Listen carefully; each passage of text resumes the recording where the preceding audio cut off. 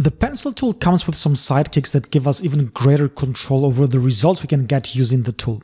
These sidekicks sit right here alongside the pen tool, and they are the smooth tool, the path eraser tool, and the join tool. So let's take a look at them in this video.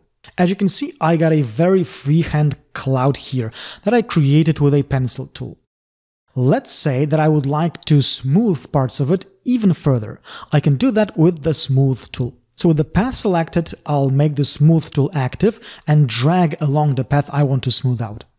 And I can repeat the process until the path is as smooth as I would like it to be.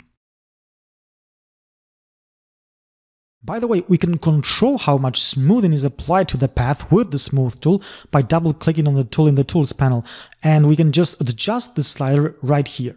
Now the second uh, pencil tool sidekick is the path eraser tool that sits right here and it lets you erase parts of a path by drawing along the path.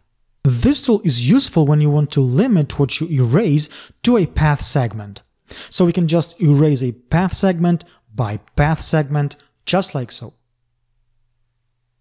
Now the last pencil tool sidekick is the join tool. With this tool, we can easily fix paths that do not exactly intersect the way we want them to. Maybe the paths we draw fall short of intersecting, or they did meet but uh, extended beyond the point of intersection. So for instance, let's say that we want to draw a straight line that we want to connect with a freehand line. But uh, we weren't too careful and didn't connect them properly. Now we can just grab the join tool make of course sure that uh, these two paths uh, are selected. And we can now just scrub across uh, the points of the paths we would like to intersect. And there we go. The paths join, but without modifying the trajectories of the original paths. This tool can come in really handy when you want to join close paths and you are fed up with using the join average command, which sometimes can produce unexpected, to say the least, results.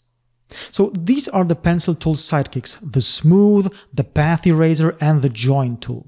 It will be up to you to decide whether you will utilize them in your day-to-day -day design work, but I think that the pencil tool is definitely worth learning and let me show you the practical benefits of using it in the next video, which by the way will reveal the class project, so stay tuned.